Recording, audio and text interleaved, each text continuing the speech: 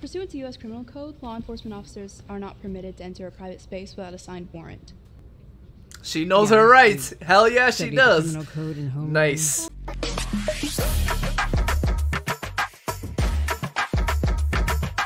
Welcome, everybody.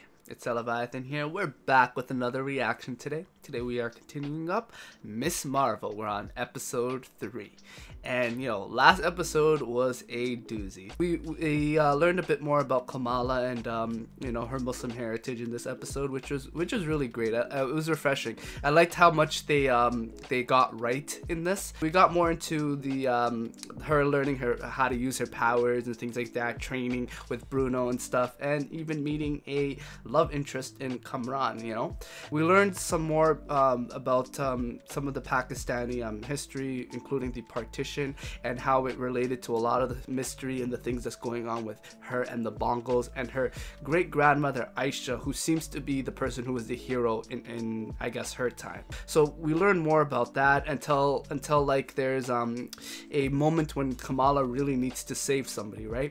And it, it was a very humbling moment because she tries to save this boy, but she doesn't completely save him without him getting hurt a little bit. And and she started to realize, you know, like this is what being a hero is. It's scary. It's it's not easy stuff right? It looked as though that she was being hunted down by the um the other team that was in like spider-man no way um no way home that team. So she got into a car with kamran and it turns out his mother is a part of everything. So there's so much going on here. It, it's a lot. It's honestly a lot. But we're gonna get started with that one. Don't forget to like share and subscribe. Turn on notifications down below so you know when i upload next. And also make sure you check out the patreon link for full on cut reactions of this show and other things. Honestly, consider joining. I appreciate all the support that comes on there. But with that note, we're going to get started with Miss Marvel Episode 3 Destined. Let's go.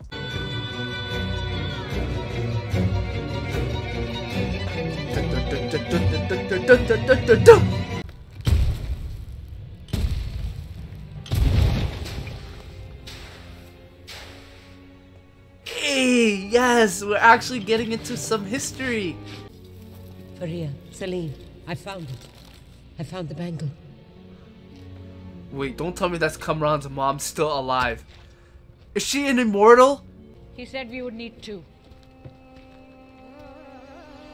Oh, Let that, me see. that's Aisha. And the person who was wearing it was a Kree because their hand was blue.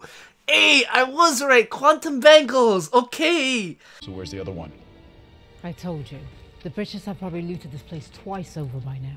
We don't have time. It did look like there. It's a set. Aisha, It has to be a We set. don't know what just one bangle will do. You're going to destroy the cave. They're setting it on fire. There is even a chance this bangle can take us back home. We have to try. I'll see you soon. I promise. As for your great grandmother Aisha, that was the last time we saw her. Aisha was from another dimension, and so are we. What? Whoa. Okay. Okay. Multiverse. Multiverse. Just when we got oh I'm hyped. finding our way home, we were separated.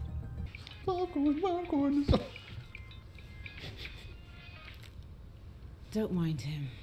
We've been around for a hundred years. They're all immortals from another dimension. that Okay, maybe not a, another Oh. multiverse, but a different dimension. Very good for being around in the 40s.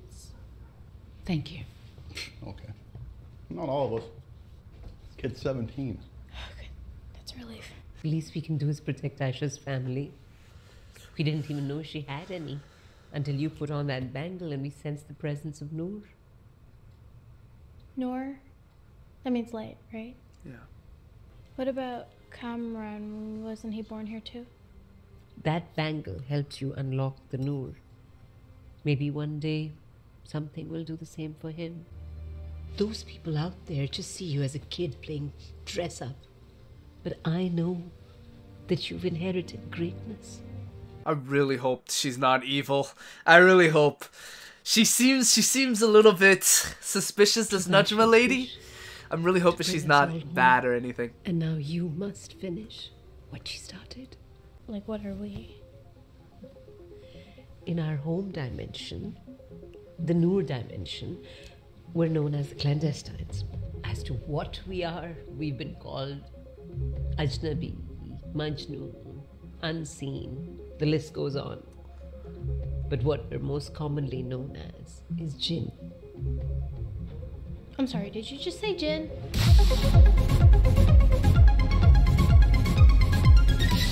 Dude, I just had the craziest night. Come Like, on. You can't just text me, I'm alive, and then go get a full eight hours. I'm a Jin. And tonic? Where are you getting all this information? So, like, a group of Jin people saved me from all the drone stuff last night. they call themselves the Clandestines. And Kamran's one of them. So the clandestines. That does sound very, very familiar. It's like at the tip of my head. I'm trying to remember it though from the comics. You're good at math. Do you know anything about interdimensional travel off the top of your head? Specifically that of the Noor dimension. That's N O O. Actually, no, that reminds me of a paper I read. Uh, I think it's by Dr. Eric Selvig. Perfect. You reread that. I actually have to go pick up some stuff for the mehndi. Is there a problem, officer? Agent, actually. Department of Damage Control. Van out search premises. Uh, not without our permission, you won't. You have no legal authority here. Pursuant to U.S. criminal code, law enforcement officers are not permitted to enter a private space without a signed warrant. She knows Yeah, her rights. Hell yeah, she does. code and home Nice. Please, return when you have a signed warrant. Hey.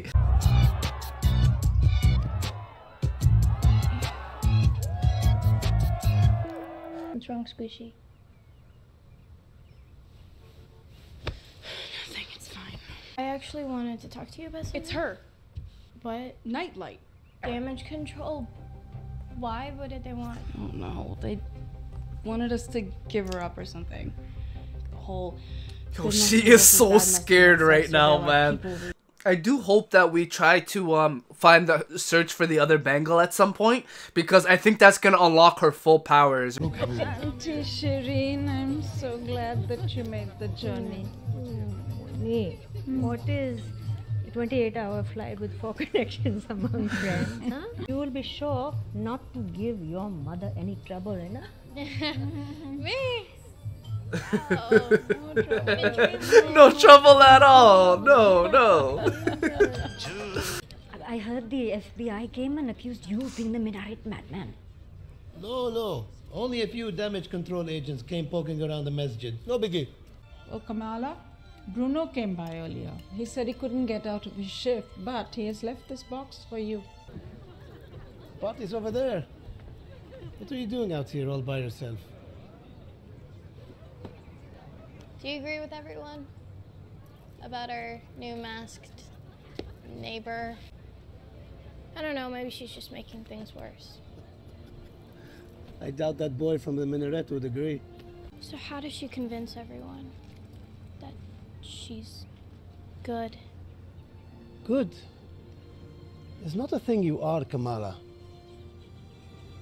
It is a thing you do. Yeah.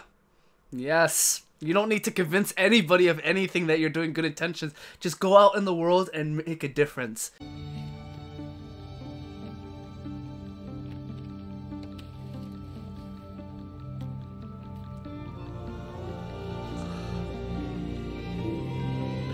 That was an amazing mask, man. I liked what he did there for her.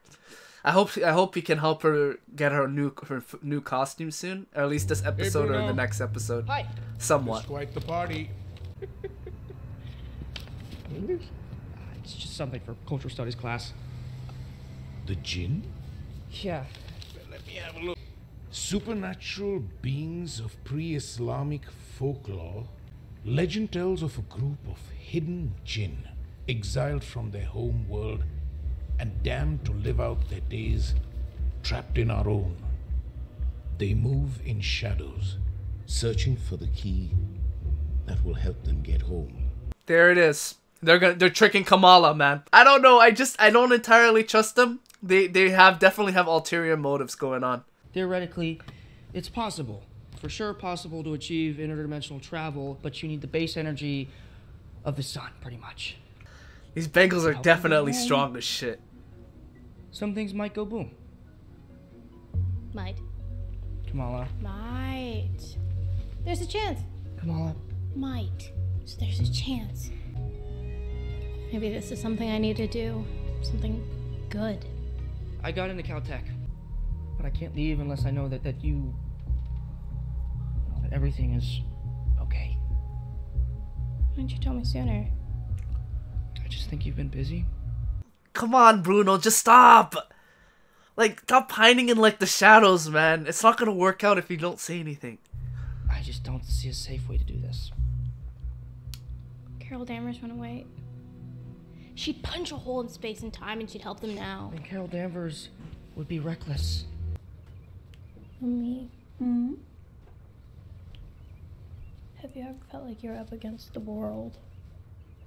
America was my mountain. Your father and I dreamed so much of coming here. And when we finally came, it was so. Man, the American dream is like a very, very hard one, man. I tell you, I've never felt so alone in my whole life. What did you do? I found the moss. And I found my family. I like And I that. let them love I like that a lot. Her mom's speaking Tony, facts here, yo. Whatever mountain you're facing, you don't have to do it alone. The scary thing is her mom is also a jinn as well too. And that's going to be a very big scary reveal when she re realizes that too.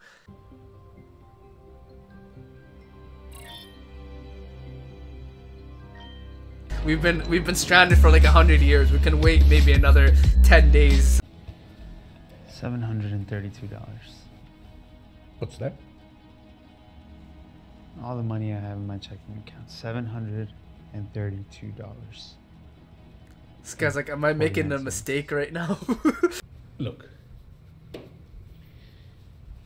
a man has one fundamental choice in life to live a life in fear or love. You are about to stand in front of God and your family and commit to the love of your life. You are brave, my son, because you have chosen family. Again, this is where she hears it again, man. Value of family is strong, and man she's hearing it again family. too. It's never alone. Man, that was so beautiful. I can't even lie. I was I could I rate the dad for saying that to him. Do you accept Amir Khan as your husband? I do. Do you accept Taisha Hillman as your wife? I do. You are now husband and wife. Takbir! Takbir! Takbir! I loved how they did that too. You weren't going to tell me. I was gonna tell you, she just needs some more time. We don't have more time. Mm. But apparently it might be dangerous if we don't do it right. Of course it's dangerous. Why wouldn't it be? you see, she's she only cares about herself, man. I'm going to make her help I knew it. I'm not asking anymore.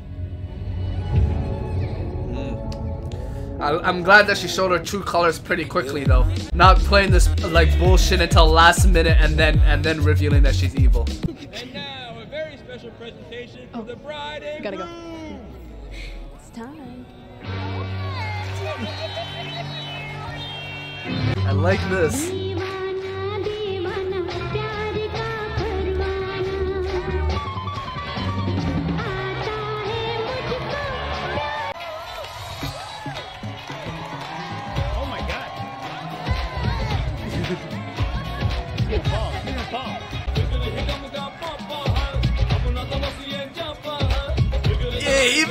Even Bruno's joining in.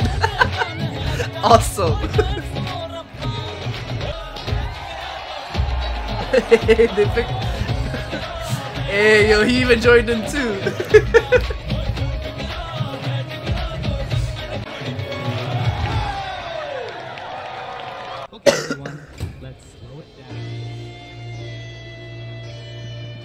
Okay, damn it. Freaking gonna ruin this good moment for Bruno. Bruno's pissed. He's pissed. He's pissed. You're not safe. None of you are safe. What? Kamala, they're coming after you. They you. were so nice to me. Can I? I'll just go talk to them. Okay. They're okay. not here to talk. They'll kill everyone. You have to get out of here. Kamala, everyone will die. I'll distract them. How? Isn't that too easy? Yeah, let's stick to the classics, right? Oh. oh. Oh man, I can't believe they came in here ruining this guy's big day, man.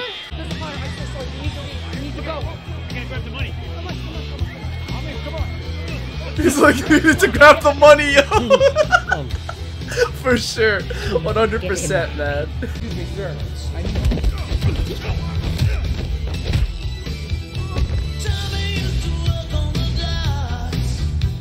Yeah, Kamala, run.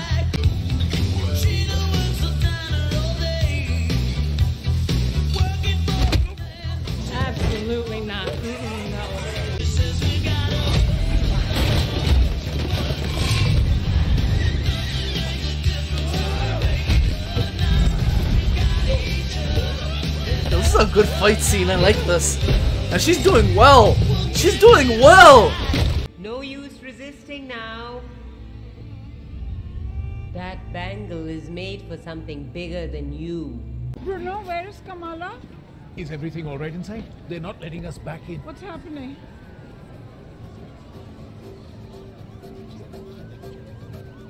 Her friend is starting to realize something, at least a little bit. Just help us get home. And it will all be over. Okay, what what was that, man? Ah, was that a reflex? Shit! I think the bangle protected her body, right?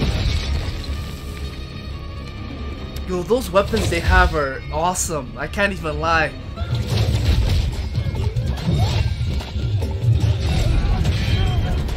Wonder what the Nutrimate lady has.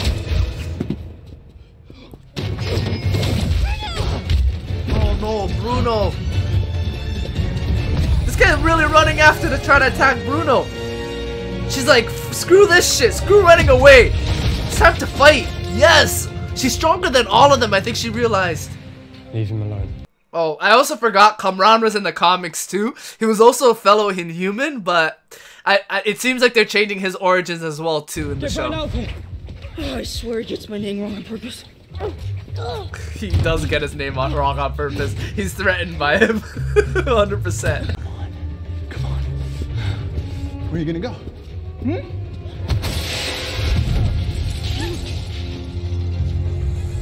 I swear she could take him down though. you doing I think she could take him down. She Why was she was beating those them. who betray? Aisha betrayed her. Yeah, Aisha betrayed her.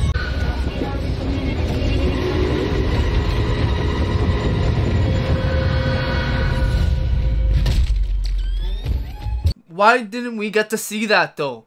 What happened on the last train out of Karachi?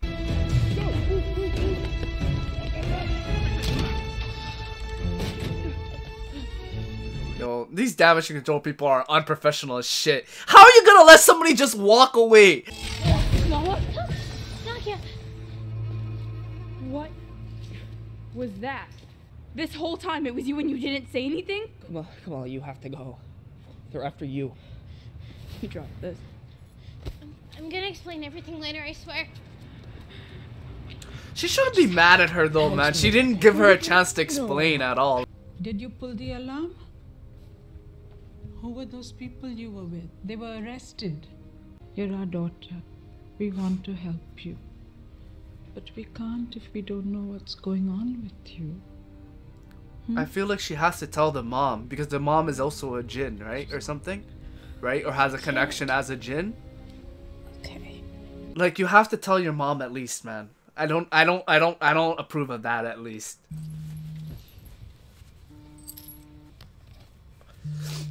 Oh. The grandmother's calling back, eh? Hi, Nani. Um, Does she have something Can I interesting? call you later? You need to come to Karachi. Did you see it? Oh, she's about to tell her something s- amazing, See man. the train, beta? The train? what? She knew about the train? Because I saw it too. What, Nani? And the mystery thickens? It- how the hell did her nanny see that shit? How? Oh, Alright. Alright. Miss Marvel episode 3. I'm loving this show, man.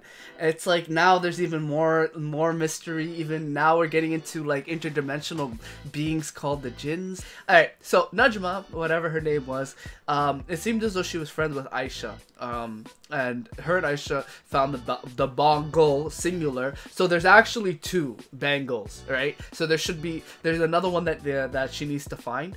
Now I feel like um with uh, when it came to Aisha, right? She I felt like she betrayed her, right? The other girl. That's why she was angry. Kamala's still kind of reeling about the decision of what happened as being a superhero. She still feels like she can't do it what what she needs to do, right? Or like or or she's not like um ready to do this, right?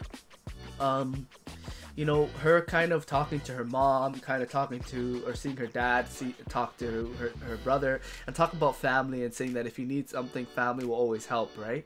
And I love those parallels in the episode because she's hiding something from her family. But the flip side of it then came to the other beings, the Jinn, not really being down with her, not helping them right away. So they were they got hostile, and I think that changed her mind. She started to realize I can't tell these people, any, uh, my family, anything, or else they're gonna be in danger too. I liked the fight scenes there. That ending part was great. Like it showed Kamala's prowess and the fact that she could actually take them on. Like I guarantee, if she was fighting a little bit more or fought back a little bit more, she would be able to take all four of those people down which was really impressive. One thing I want to explore more about this is the other Bongo, right? Because I think maybe somebody else might be in possession of it, maybe, or she has to look for it and find it. Because I think if she gets both, it'll unlock all her full potential and her full powers. I think that's it for the recap. Next episode is gonna be good. She said her grandmother said that she was um going, wanting to go to Karachi, and her grandmother also saw the vision. I don't know. But with that note, I will end the video here. Um, greatly appreciate all the support you guys give me. Keeps pushing me to keep doing these videos. But with that, I will see you guys around. Bye.